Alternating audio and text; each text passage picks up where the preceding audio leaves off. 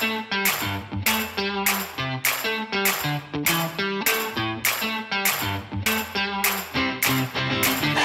Hello and welcome to the Sports Grad Podcast, your bite-sized guide to enter the sports industry. And joining me in the studio, as always, is the lit Reuben Williams. How are you, mate? G'day, Ryan. I'm fantastic. Thank you. I'm, I'm a bit dimly lit tonight. We've entered the studio to find that the lights aren't working. Those watching on YouTube will think, mm. where are they? I can barely see them. No, it's not the brightness on your computer screen. Our studio has got a fault in it somewhere.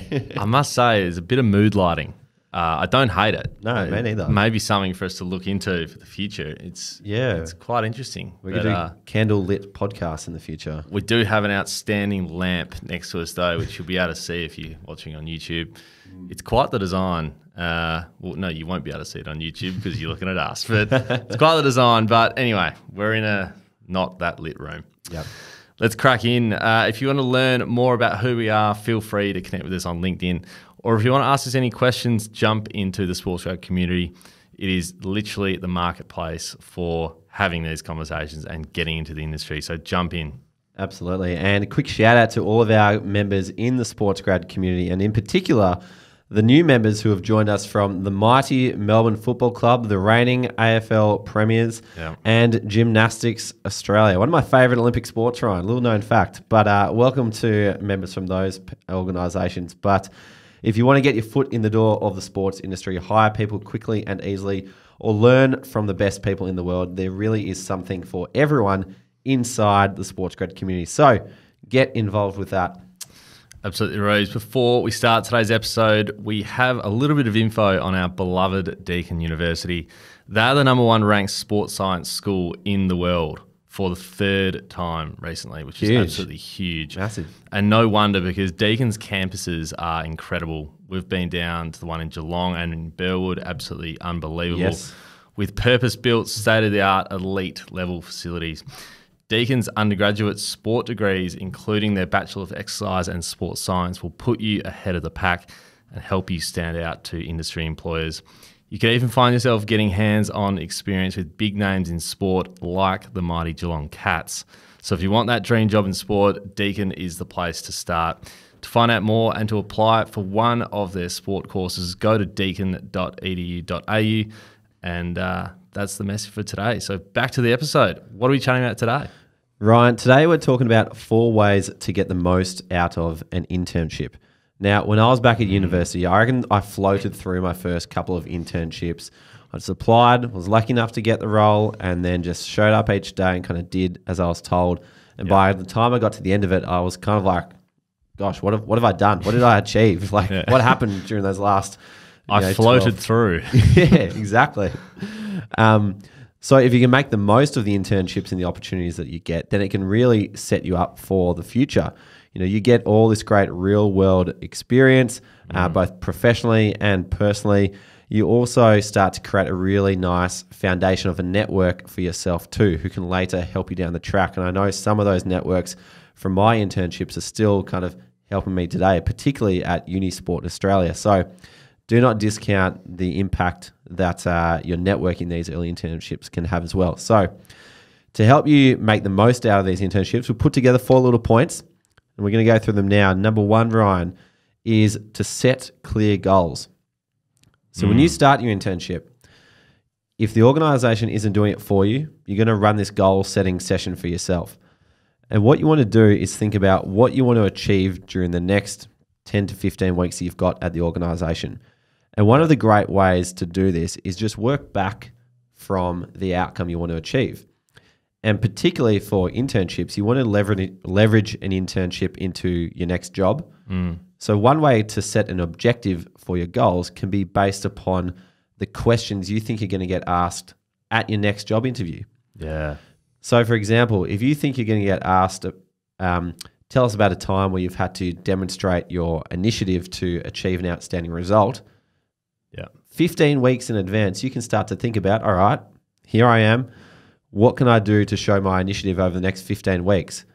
So then, once you start to set a goal to it, add some numbers to it, and then track your progress along the way, you're going to notice the impact that you are creating. For example, if you are doing an internship at a football club and they ask you to run the social media accounts, you might say, I use my initiative to come up with a new line of content, which was post match wrap up videos on Yep. the field just through my phone.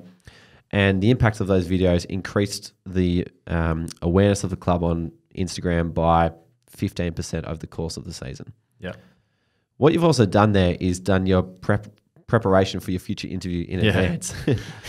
because you don't have to go back through and think, oh crap, what have I done in the past? It's Yeah. all logged there nicely for you. So, uh, number one to make the most out of an internship is set clear goals from yourself and work backwards from your future interview.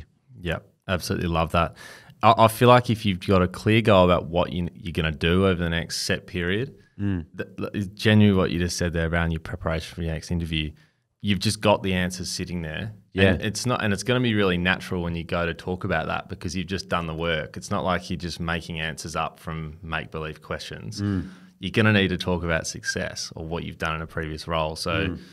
if you've got the goal there ready to go, you're, you're sorted. Yeah, absolutely right. And sometimes interviews get called on the next day. Like you don't have a lot of time to prepare yourself. Yeah, So if you've got this in your back pocket ready to go, you'll be in a much better spot. absolutely.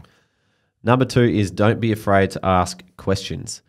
Now, having managed people in the past, you want managers would like their interns and the people who work underneath them to get the job done as best they can.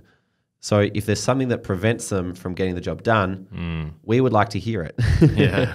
so we it's in our best interest that you ask questions. Yeah. that interns ask questions and continue to move forward with the job at hand. So if you feel silly or you feel like you should be knowing more and it's just a dumb question, that's totally okay. Yeah. We've all been there. I've asked the stupidest questions of all the people. So, um, but your, what your manager is going to be more unimpressed about is if you allowed a roadblock to kind of stop your progress of work for the next three or four hours because you were too afraid to ask the question. Yeah.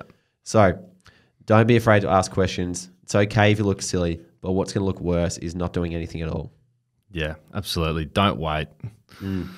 Big rookie error, I think, when you when you first start in any sort of role, it, whether it's an internship it's full time, whatever it is. Don't wait to the last second to ask the question. Yeah. that's when they'll be pissed off. Abs- absolutely right. Absolutely right.